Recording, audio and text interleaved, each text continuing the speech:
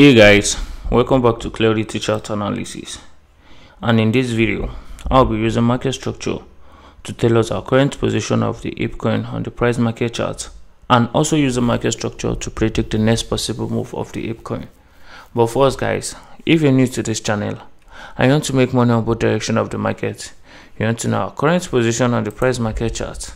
This channel is for you.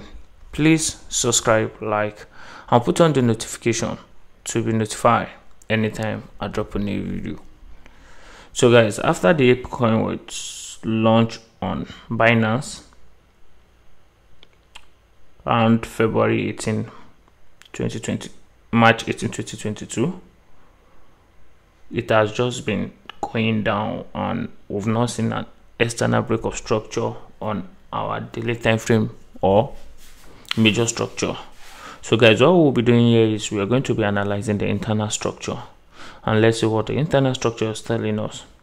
So guys based on our internal structure the most recent the first break of structure we saw was a break of structure to the downside. We saw price break structure to the downside. Has a little pullback and we broke another structure to the downside. And guys what does it mean when we see break break of structure to the downside?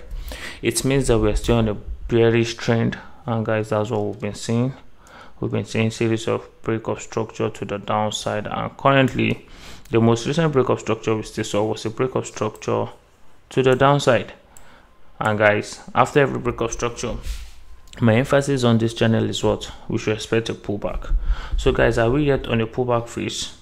Sure we're not yet on a pullback phase because it was actually the swing that gave us this lower low. So guys on our daily time frame we expect price to come back to this upper swing that give us this low low if price is not going back there then we should not be surprised. Should continue seeing price break more structure to the downside.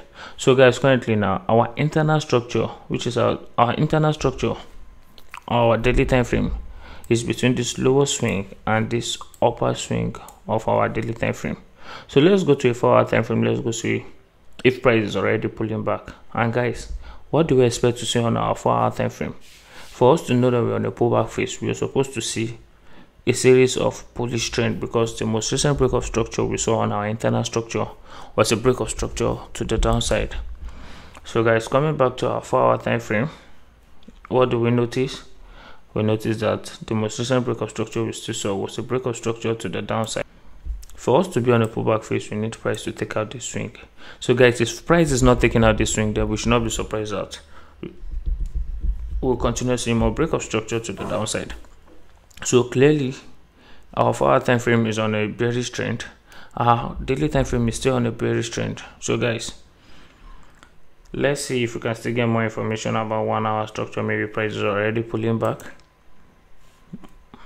and guys this same swing that gave us this lower low on our four time frame was also the same swing that gave us this lower low on our one hour time frame. So guys we expect price to give us series of bullish trend to take this out for us to be on a pullback phase. If not guys we should not be surprised seeing price. Break more structure to the downside telling us that we are still on an impulsive phase and guys remember that now currently now one hour is trading between this upper swing and this lower swing.